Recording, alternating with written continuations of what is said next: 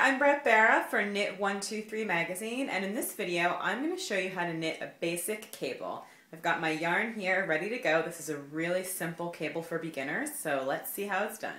In this little swatch that I've got here I've already done one cable and you can see that the stitches literally cross over each other and that's accomplished by actually making the stitches cross as you knit them and it's one of those things that sounds a little bit more difficult than it is. It's actually very simple. Cables usually are worked in a knit stitch with purl stitches as a background. And the purl stitches really help the knitted cable to pop. So here I've got two purl stitches as a border, and now I've got my four knit stitches that are where my cabling is happening throughout this pattern. So to make the cable, I need a third needle, which is a cable needle.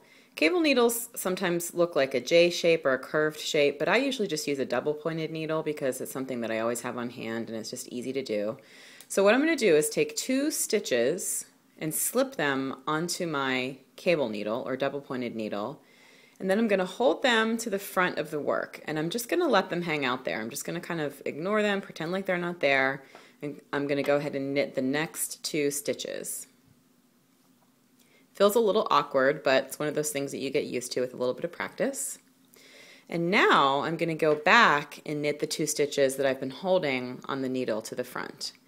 And it feels a little funny, but you just go ahead and knit the first one and knit the second one. And what this is doing is literally moving the stitches and twisting them over each other. Now I'm going to purl the next two stitches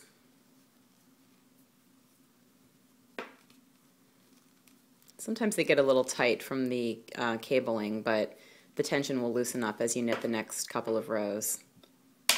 And you can see what we've done there is that those stitches are literally twisting now.